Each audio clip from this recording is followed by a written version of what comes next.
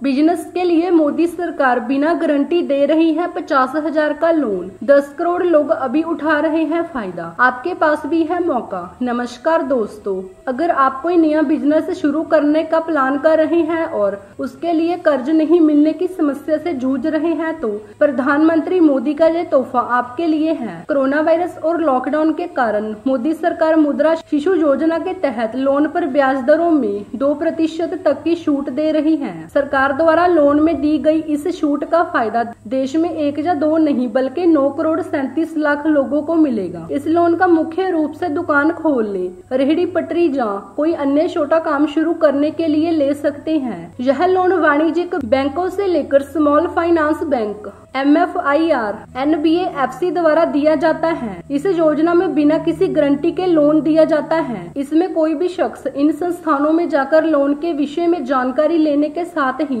Apply कर सकते हैं। इसके साथ ही सरकार ने ऑनलाइन पोर्टल पर जाकर भी लोन के लिए अप्लाई कर सकते हैं। शिशु मुद्रा योजना के तहत लोन लेकर अपना काम शुरू कर सकते हैं। सरकार इसी लोन पर आपको दो प्रतिशत तक की छूट दे रही है। इस योजना के तहत आप अपना छोटा मोटा काम शुरू करने के लिए पचास हज़ार रूपए तक का लोन ले सकते हैं। इस योजना के तहत नौ से बारह प्रतिशत तक का ब्याज लगता है, जिसमें सरकार ने अब दो प्रतिशत तक की छूट दे दी है। मुद्रा योजना के तहत लोन लेने वाले शख्स को ब्याज में यह छूट एक जून 2020 से इकतीस मई 2021 तक मिल सकेगी। इसके लिए इस वर्ष में 1540 करोड़ रुपए खर्च किए जाएँगे। मुद्रा योजना के तहत बिना गारंटी के लोन मिलता है। इसके अलावा लोन के लिए कोई प्रोसेसिंग चार्ज भी नहीं लिया जाता है। मुद्रा योजना में लोन चुकाने की अवधि को पाँच साल तक बढ़ाया जा सकता है। लोन लेने वालों को एक मुद्रा कार्ड मिलता है, जिसकी मदद से कारोबारी ज़रूरत पर आने वाला खर्च किया जा सकता है।